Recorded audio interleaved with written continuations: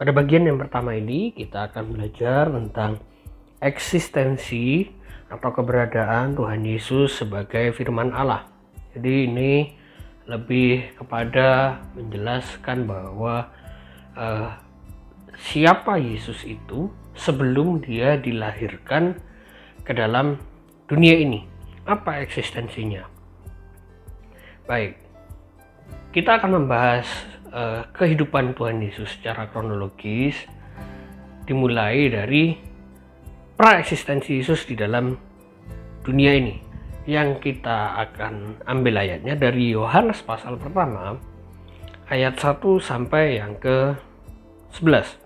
Ayat yang pertama, pada mulanya adalah firman. Firman itu bersama-sama dengan Allah dan firman itu adalah Allah. Ia pada mulanya bersama-sama dengan Allah. Segala sesuatu dijadikan oleh Dia. Dan tanpa Dia, tidak ada sesuatu pun yang telah jadi dari segala yang telah dijadikan.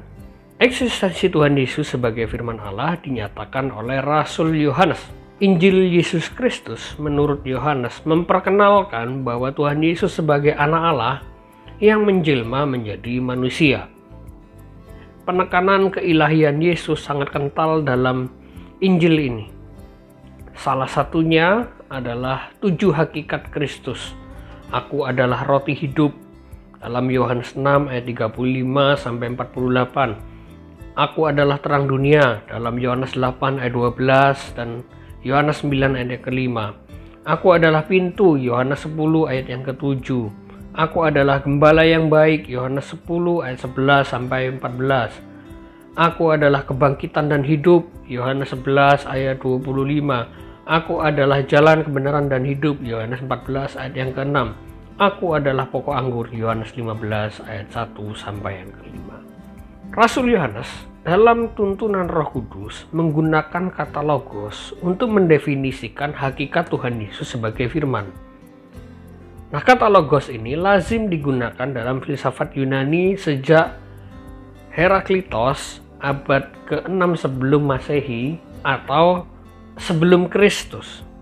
Nah, kata logos ini lazim digunakan pada zaman itu sampai ahli filsafat Yahudi Pilo dari Alexandria pada abad pertama Masehi untuk prinsip pengikat yang mendasari jagat raya. Rasul Yohanes memberikan pemahaman yang tepat bahwa logos itu adalah hakikat Yesus Kristus.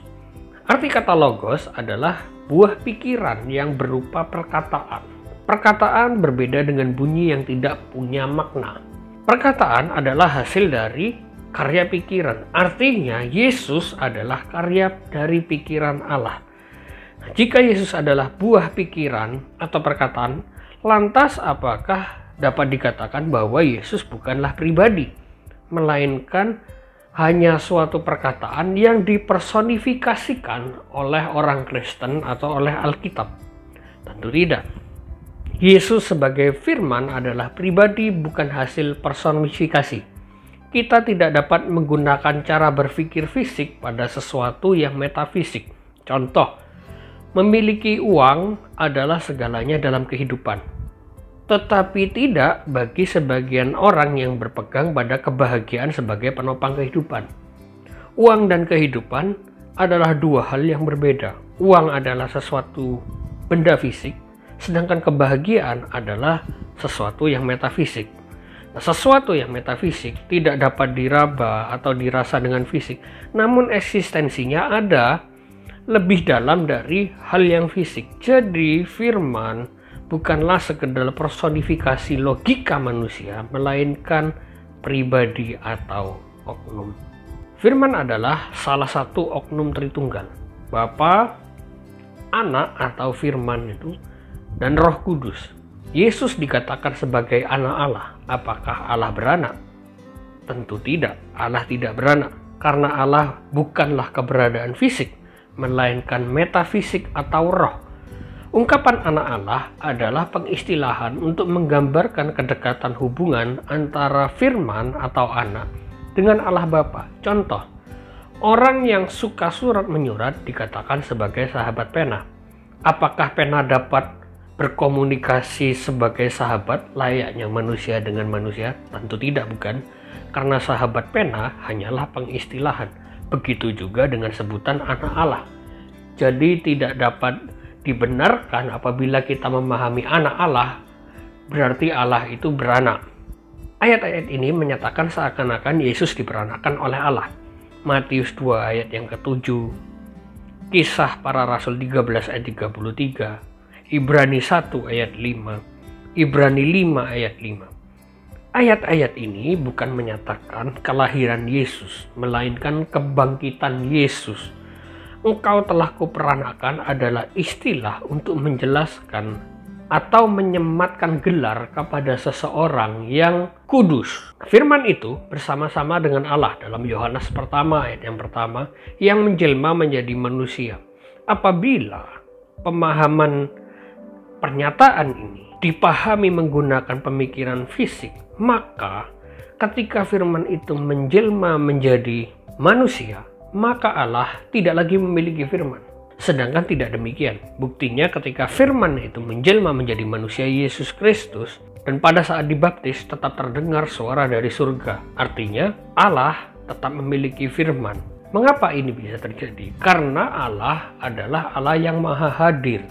Allah dalam rupa roh. Kita tidak bisa memahami dalam cara berpikir fisik kepada sesuatu yang metafisik. Ada pengkritik Kristen yang mengatakan semua orang Kristen mengakui bahwa mustahil bagi akal untuk memahaminya. Ini berarti bahwa orang Kristen harus meninggalkan akal untuk memahami kekristenan itu sendiri. Pernyataan ini tidak dapat diterima. Bagaimana mungkin memahami Allah sepenuhnya dengan akal yang terbatas? Tetapi Pernyataan ini bukan serta-merta bahwa kita harus meninggalkan akal. Jika tidak dengan akal, lalu dengan apa? Sedangkan akal adalah ciptaan Tuhan dan Tuhan bekerja melalui akal dan pikiran manusia. Seandainya saya memahami Allah tanpa menggunakan akal, malah aneh bukan? Contoh, saya akan memahami Allah dengan akal. Wah, Allah itu duduk di tahtanya. Kalau saya pahami dengan akal, tahtanya menghadap ke mana? Kalau tahta Allah menghadap ke utara, lalu saya kageti Allah dari arah selatan, Allah akan kaget. Ini tidak dengan akal. Tentu akan aneh bukan kalau Allah tidak maha tahu bahwa saya ada di belakangnya, mau mengagetinya, kemudian Allah kaget. Dan tidak mungkin dapat terjadi, karena satu-satunya penanda kemanusiaan adalah akal budi pikiran manusia. Tetapi akal budi pikiran manusia harus tunduk kepada firman Tuhan. Itu catatannya. Dan tidak hanya kesaksian Rasul Yohanes yang menyatakan hakikat Yesus sebagai firman berasal dari keabadian. Yesus sendiri juga menyatakan secara langsung pra-eksistensinya dalam Yohanes 17 ayat yang kelima. Oleh sebab itu ya Bapa, permuliakanlah aku padamu sendiri dengan kemuliaan yang kumiliki di hadiratmu sebelum dunia ada. Yesus menyatakan bahwa dirinya berasal dari keabadian atau kekekalan. Ada beberapa ajaran, baik dari kalangan Kristen maupun non-Kristen, yang menolak bahwa Yesus berasal dari keabadian. Salah satunya adalah Yesus adalah ciptaan yang diciptakan ketika dalam tubuh Maria. Ada juga ayat-ayat yang menyatakan bahwa seakan-akan Yesus adalah ciptaan. Dalam Wahyu 3 ayat yang ke-14 dan tuliskanlah kepada malaikat jemaat di Laodikia inilah firman dari Amin saksi yang setia dan benar permulaan dari ciptaan Allah permulaan dari ciptaan Allah bukanlah ciptaan permulaan Kristus bukanlah ciptaan melainkan permulaan dari penciptaan sebagai firman yang menciptakan atau sumber penciptaan. Apabila Yesus hanya ciptaan untuk apakah ia memperjuangkan kematiannya, memperjuangkan dalam tanda petik, karena ia harus melawan kehendak pribadinya. Yesus sebenarnya punya kehendak untuk tidak disalib, tetapi dia memperjuangkan melawan kehendak pribadinya untuk taat kepada kehendak Bapa dalam rangka menebus dosa manusia. Ia dengan rela menyerahkan diri. Buktinya, dalam Yohanes 18 ayat yang kedua, ke tempat yang biasa dia kunjungi dan Yudas mengetahui Padahal bisa saja dia menghindari Yudas. Dia bisa saja ke tempat lain, dia bisa saja keluar dari Israel. Jadi Yesus bukanlah ciptaan. Karena apabila ia ciptaan, tentu salib itu ia akan hindari karena ia adalah ciptaan. Tidak ada satupun manusia yang rela mati untuk orang jahat seperti Tuhan Yesus. Bukankah ini menjadi bukti bahwa Yesus Kristus adalah Allah yang harus taat, yang harus rela berkorban bagi kita semua. Manusia tidak dapat menyelamatkan manusia. Maka dari itu kita membutuhkan Allah, yaitu Tuhan Yesus Kristus yang turun untuk menyelamatkan kita.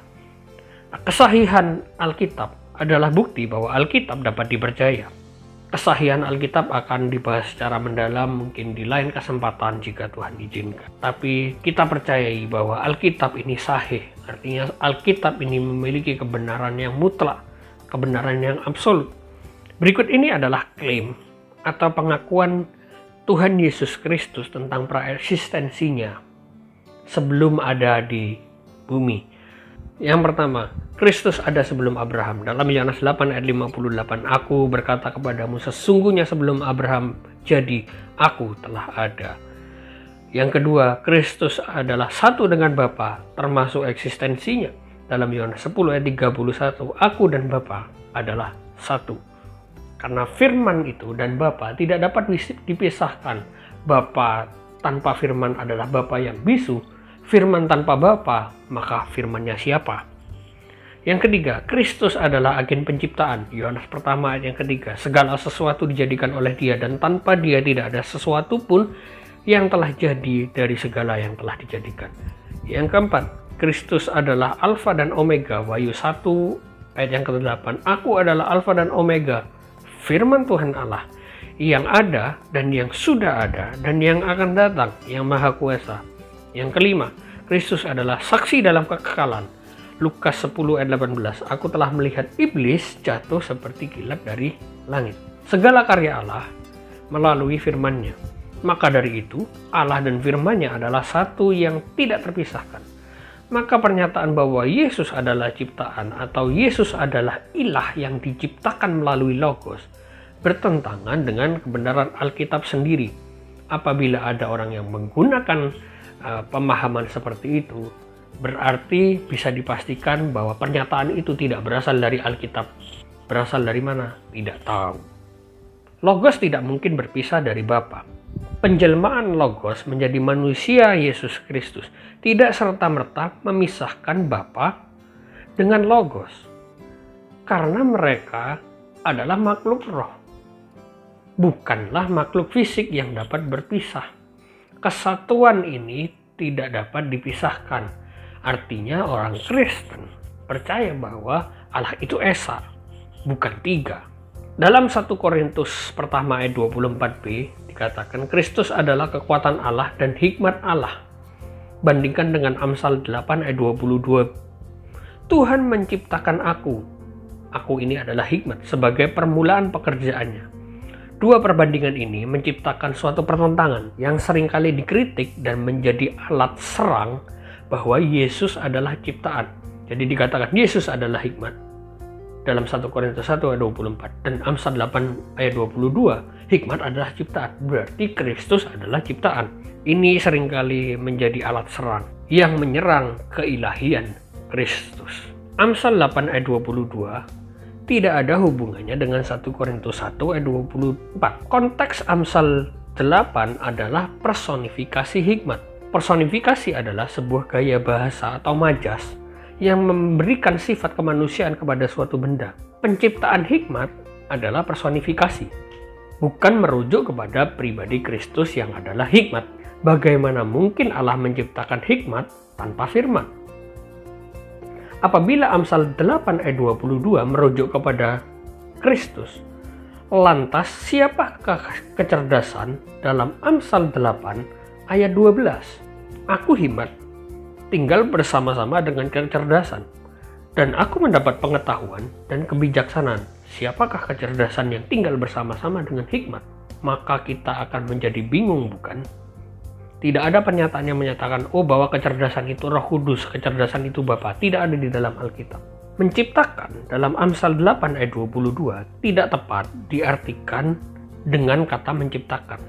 Kata kanah berarti memiliki atau membeli. sedangkan menciptakan menggunakan kata bara atau asah dalam bahasa Ibrani. Yesus menjelma menjadi manusia, berkenosis. Dalam Filipi 2 ayat yang ketujuh, melainkan telah mengosongkan dirinya sendiri dan mengambil rupa seorang hamba dan menjadi sama dengan manusia. Pengosongan diri ini juga adalah suatu istilah yang tidak dapat dipahami secara literal. Karena Yesus tidak mungkin kosong sama sekali. Yesus tidak dapat dan tidak pernah berhenti menjadi Allah kata huparkon berarti keberadaan yang terus menerus. Kata huparkon ini dalam Filipi 2 ayat yang ke-6 yang walaupun dalam rupa Allah. Nah, dalam rupa Allah ini dalam keadaan yang terus menerus yang tidak bisa berhenti. Mengapa Allah tidak bisa berhenti? Karena Allah itu sempurna. Kalau berhenti artinya dia berubah. Karena Allah itu sempurna, maka Allah tidak memerlukan perubahan Allah bukan pekerjaan, maka Allah tidak perlu berhenti. Karena Allah itu adalah hakikat, maka hakikat itu tidak akan bisa berhenti. Firman itu menjadi manusia dengan kuasanya sendiri. Penjelmaan itu dengan kuasanya sendiri. Pengosongan diri itu dengan kuasanya sendiri. Tidak ada tindakan dari oknum Tritunggal lain yang seakan-akan membantu firman itu menjelma menjadi manusia. Jadi jelas bahwa Yesus mengosongkan dirinya sendiri dan tidak dibunuh oleh Bapa. Mungkinkah Allah membunuh firman? Mungkinkah Allah membunuh Yesus yang satu dengan Bapa? Artinya Allah bunuh diri? Atau mungkinkah Allah membunuh? Tentu tidak. Kalimat menjadi sama dengan manusia sering kali tidak dipahami dengan benar. Yesus tidak mungkin melepaskan kodrat ilahinya dan kesempurnaannya karena ia masih memiliki kuasa untuk menghentikan badai, berjalan di atas air, membangkitkan orang mati, dan dia adalah kudus. Dia memiliki kuasa mengampuni orang. Dia tidak bisa berhenti menjadi Allah, karena Allah bukan suatu pekerjaan, melainkan hakikat. Kalau berhenti, maka Allah harus mati. Filipi 2 ayat 6 jelas mengatakan walaupun dalam rupa Allah, artinya Kristus masih dalam hakikatnya, yaitu Allah. Yesus bukan mengurangi hakikatnya, melainkan menyembunyikannya di bawah kelemahan daging untuk sementara waktu. Dalam 1 Timotius 3 ayat 16, dan sesungguhnya agunglah rahasia ibadah kita. Dia yang telah menyatakan dirinya dalam rupa manusia. Kata ini dalam terjemahan bahasa Inggris God was manifest in the flesh. Artinya Tuhan dimanifestasikan ke dalam daging. Lantas, apakah keilahian Yesus atau ketuhanan Yesus apakah meniadakan kemanusiaannya? Apabila kemanusiaan Yesus tidak ada, apakah mungkin manusia dapat serupa dengan dia yang adalah Allah atau ilah? Nah, Yesus ini pribadi yang spesial dia selain Allah yang sejati, dia juga adalah manusia yang sejati. Tentu untuk memahami ini, secerdas apa pun, tidak akan bisa menjelaskan dua hakikat di dalam satu pribadi. Karena ini adalah misteri. Biarlah hal yang misteri menjadi misteri Allah. Kita patut menerimanya dengan iman.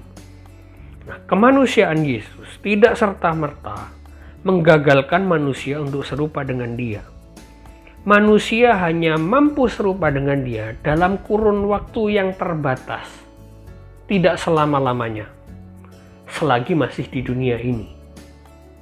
Karena siapakah kita manusia yang penuh dengan dosa, yang statusnya adalah orang berdosa, dapat menyamai Kristus 100% dalam waktu yang tidak terbatas? Tentu tidak mungkin, bukan? Apakah artinya Matius 5 ayat 48? Karena itu adalah kamu sempurna sama seperti Bapamu yang di surga adalah sempurna. Bila manusia ingin menjadi sempurna, maka manusia harus menjadi Allah atau meninggalkan tubuh dosa dan menggantikan dengan tubuh yang tidak dapat binasa atau lebih dikenal dengan tubuh kemuliaan. Dalam tubuh yang dalam tubuh daging yang fana, manusia tidak dapat sempurna Manusia hanya dapat sempurna dalam kurun waktu yang terbatas, singkat, tidak dapat bertahan lama. Siapakah manusia yang dapat tidak berdosa dalam jangka waktu satu hari, dua hari, satu minggu mungkin. Tidak pernah ada. Apabila ada yang mengatakan manusia bisa sempurna, maka silahkan ajukan tantangan untuk membuktikan dirinya bisa sempurna dalam jangka waktu yang lama. Konteks Matius 5 ayat 48 adalah tentang kasih. Maka Matius 5 ayat 48 harus dipahami tentang kasih. Artinya, kita harus sempurna seperti Bapa dalam kasih. Tentu sempurna dapat dalam kasih dapat dilakukan dan lebih masuk akal daripada menjadi manusia yang sempurna dalam jangka waktu yang lama. Manusia sempurna hanyalah hayalan dan mimpi di siang bolong. Tetapi pernyataan ini bukan berarti kita tidak boleh berbuat baik, kita tidak boleh menjaga justru karena kita tidak sempurna. Kita harus menjaga kesucian, harus menjaga kekudusan sebisa mungkin, semaksimal mungkin. Kita tidak bisa menjadi manusia yang sempurna 100% dalam jangka waktu yang lama kalau dalam jangka waktu sebentar, ya mungkin bisa, tapi dalam jangka waktu yang lama tidak mungkin. Kita akan menjadi sempurna ketika nanti, ketika Tuhan Yesus sudah datang yang kedua kalinya, lalu tubuh kita diubahkan menjadi tubuh yang tidak punya kelemahan. Karena dengan tubuh yang lemah ini, kita tidak dapat menghindari dosa. Tapi sebisa mungkin kita hindari dosa. Apakah Yesus salah satu atau satu-satunya firman Allah? Salah satu pemikiran kritikus Alkitab atau saya dapat katakan adalah antikristus. Mereka mengatakan Yesus adalah salah satu firman Allah, bukan satu-satunya firman Allah. Maka Yesus bisa disejajarkan dengan nabi-nabi lain yang pekerjaannya adalah menerima firman dari Allah dan bertugas menyampaikannya kepada orang lain. Apabila Tuhan Yesus adalah salah satu firman Allah, kapan ia menerima firman Allah? Tidak pernah dan tidak bisa dibuktikan. Alkitab juga tidak pernah mengatakan Yesus menerima firman dari Allah. Tidak pernah. Bagaimana mungkin Yesus berkuasa mengusir setan apabila ia bukan firman? Tentu tidak mungkin. Bagaimana mungkin murid-murid Yesus berkuasa mengusir setan dalam nama Yesus apabila Yesus bukan firman Allah atau Allah sendiri? Tentu tidak mungkin. Bahkan Yesus membuat beberapa mujizat tanpa memohon kepada Allah. Bagaimana mungkin Yesus juga berkuasa mengampuni dosa apabila ia bukan Allah? Tidak mungkin. Secerdas apa pun argumen menjelaskan hakikat Yesus sebagai firman Allah, tanpa rasa percaya tidaklah berarti. Maka kita harus percaya dulu, baru mengerti siapakah Tuhan Yesus. Amin. Tuhan Yesus memberkati.